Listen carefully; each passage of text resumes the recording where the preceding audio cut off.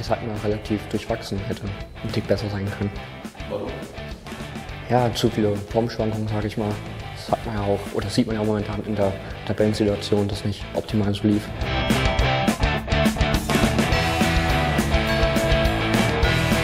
Ja, auf jeden Fall der Klassenhalt in der Saison. Und ich würde sagen, nächstes Jahr dann gesichertes Mittelfeld.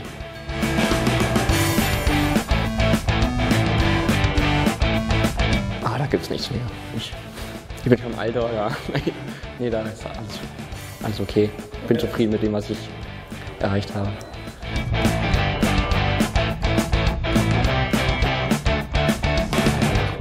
Die mal den Titel geholt haben, den WM-Titel auf jeden Fall. Nur den Titel. Also den WM-Titel. Schaffen Sie es mit der Mannschaft, so wie es jetzt aussieht? Ja, natürlich. Das ist auch eine Turniermannschaft gewissermaßen.